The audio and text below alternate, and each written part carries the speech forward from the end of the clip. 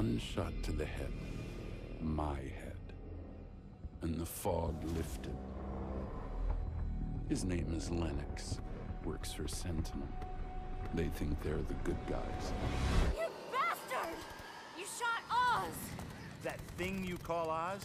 He's the source of the infection. A bullet's not gonna stop him. What the fuck are you talking about? The man is dead. Well, so were you once. And you. And you. You see a pattern here? We ain't no zombies. Ow! Atlas inbound. Five miles from closing. Ah, they're early. Load him up.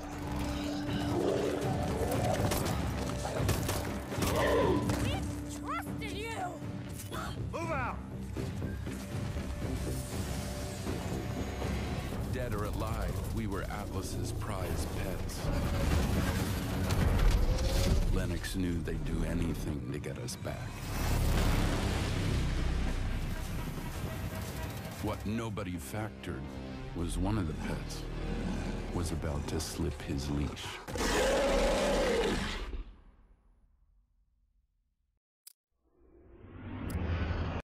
The Atlas infection blazed like a firestorm across the Western Hemisphere, consuming everyone and everything in its path.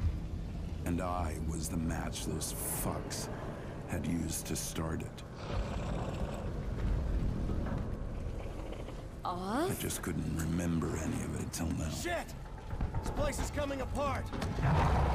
Take him down! But you can't stop being what you truly are, Come on! Go, go, go! even if it's a monster.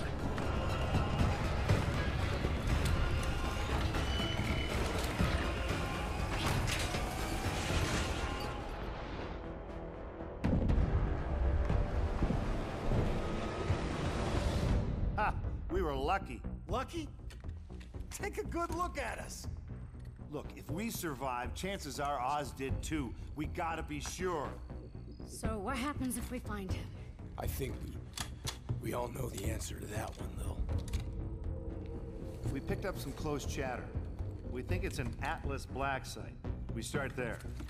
Atlas had always posed as the savior of mankind, while constructing some of the most horrific and lethal weapons to exterminate it, all for cold hard cash.